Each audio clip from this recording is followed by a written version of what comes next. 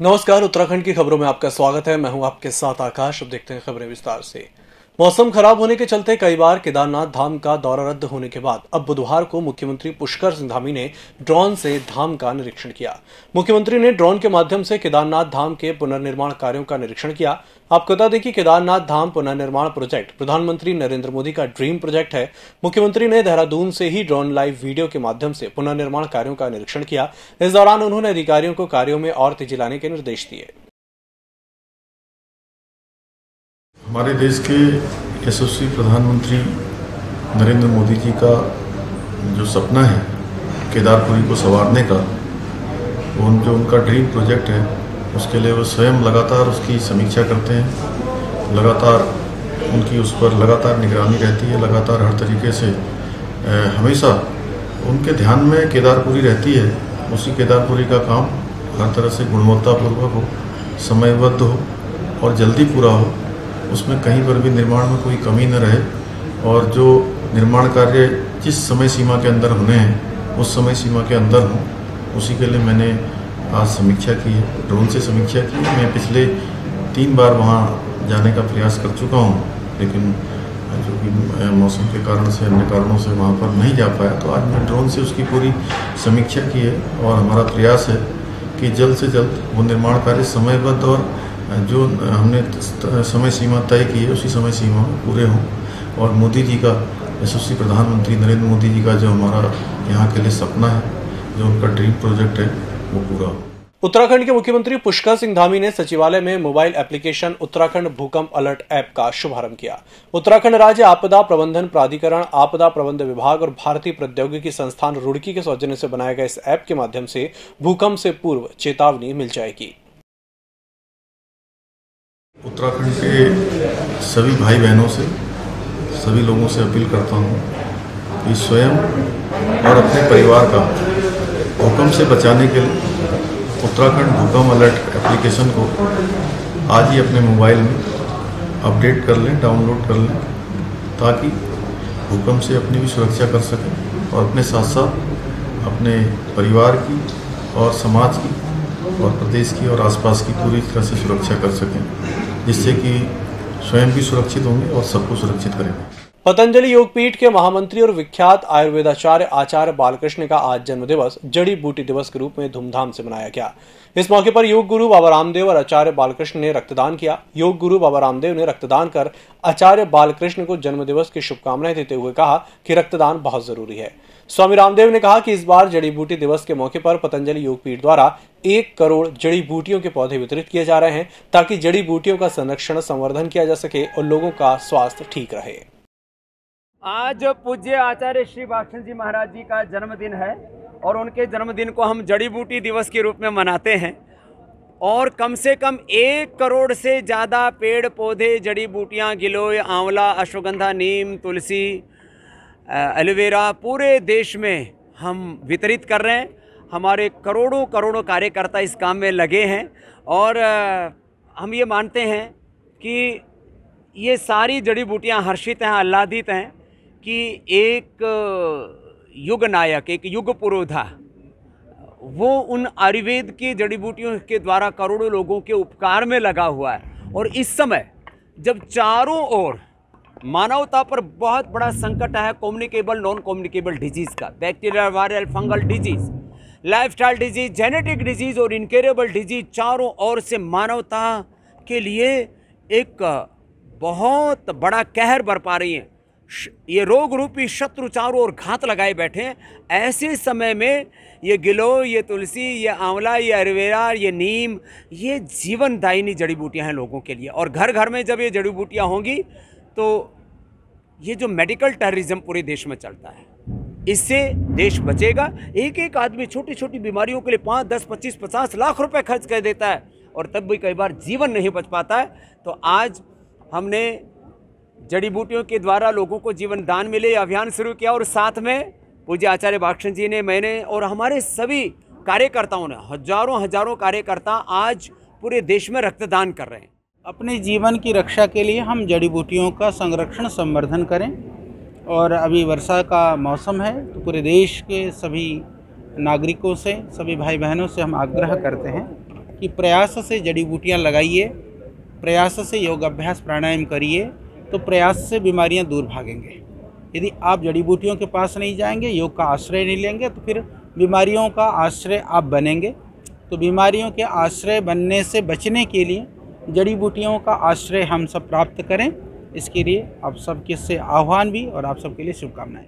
जिलाधिकारी Dehradun doctor R Rajesh Kumar की अध्यक्षता में आज ऋषिपर्णा सभागार कलेक्ट्रेट में जनपद स्तरीय गंगा सुरक्षा समिति और रिस्पना पुनर्जीवन के कार्यों से संबंधित बैठक आयोजित की गई। गंगा सुरक्षा समिति के कार्यों की समीक्षा करते हुए जिलाधिकारी ने ऋषिकेश में गंगा सुरक्षा कार्यों से जुड़े विभागों से कार्यों की प्रगति का विवरण प्राप्त करते हुए सभी विभागों को निर्माण कार्यों और सौंदर्यीकरण के कार्यों की प्रगति बढ़ाने के निर्देश दिए।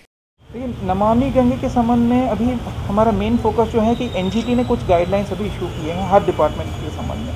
तो उन्हीं गाइडलाइंस का जो है उसके अनुसार अनुपालन हुआ है या नहीं, इसी का जो है मैंने मीटिंग आज किया था। और कुछ प्रोजेक्ट्स जैसे वनीकरण के प्रोजेक्ट्स हैं एमडीडीए से एक आध प्रोजेक्ट्स आए हैं, इस पर भी जो है हम लोगों ने चर्चा की थी। और ये प्रोजेक्ट्स जो है हम शासन को भेज के उसमें सहमति और स्वीकृति प्राप्त करें लंबे वक्त से अधर में लटके स्मार्ट सिटी के कार्यों में जल्द ही तेज़ी आ सकती है। जी हाँ, जिलाधिकारी डॉक्टर आर राजेश कुमार ने देहरादून शहर में चल रहे स्मार्ट सिटी के कार्यों का औचक निरीक्षण किया। इस दौरान डीएम ने जिम्मेदार अधिकारियों को कार्य को जल्द पूरा करने के निर्देश दिए। आपको बता दें कि दो दिन पहले ही डीएम देहरादून को स्मार्ट सिटी का चार्ज भी सौंपा गया है और जिलाधिकारी ने स्मार्ट सिटी के कार्यो को अपनी प्राथमिकताओं पर रखा रखा है। स्मार्ट सिटी का भी फ़िलहाल चार्ज लिया है, लेकिन स्मार्ट सिटी का चार्ज लेने से पहले ही मैंने जो है स्पॉट पे निरीक्षण किया था, पिछले हफ़्ते भी निरीक्षण किया था, दस दिन पहले। और जहाँ जहाँ इश्यूज़ थे, मैंने उसको वहीं पे सॉर्ट आउट करने की कोशिश की थी। और अभी मैंने स्मार्ट सिटी में जितने भी ऑफिसर्स हैं कल मैंने दोबारा दो समीक्षा बैठकें भी ली और उनको इंस्ट्रक्ट किया है कि कोई भी अपने ऑफ़िस में बैठ, जो फ़ील्ड वाले ऑफिसर्स हैं, वो अपने ऑफ़िस में नहीं बैठेंगे। सब लोग अपने फ़ील्ड में रहेंगे।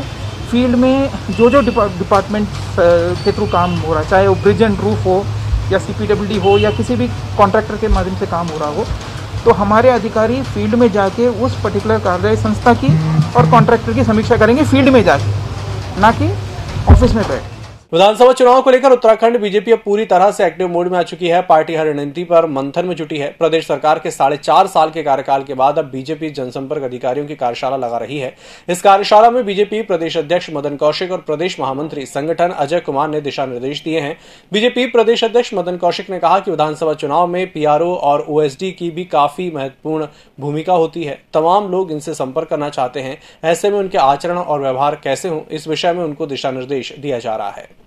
मंत्रीगण हैं, आयोगों में अध्यक्ष हैं, या इस प्रकार का कोई सरकारी दायित्व में है, जिन्होंने पीआरओ ओएसडी इस प्रकार के कोई कार्यकर्ता के रूप में काम करने वाले जितने लोग हैं, उन सब की आज एक विशेष रूप से वर्कशॉप है। इस वर्कशॉप में आज पूरे दिन की रहेगी, जिसमें कई वरिष्ठ महानुभव का उन सबको मार्गदर्शन मिलेगा। इसमें सामान्यतः सभी लोगों के साथ बैठकर किस प्रकार का आचार, व्यवहार, शिष्टाचार, किस प्रकार का हम लोगों को काम करना है, क्योंकि चुनाव की दृष्टि से इनका रोल भी बड़ा महत्वपूर्ण रहता है। चुनाव में इस समय पाँच महीने का जो शेष काल है, इसमें अधिकतर लोग संपर्क करना चाहते हैं, मिलना चाहते हैं तो उनका ठीक प्रकार से आचार, व्यवहार रहे, ठीक प्रकार से स्थिति इस रूप में रहे। तो इस प्रकार का एक वातावरण बने, इस सारे विषय को ध्यान में रखते हुए आज पूरे दिन की वर्कशॉप है, जिनको इस प्रकार का एक शिष्टाचार बताया जाएगा।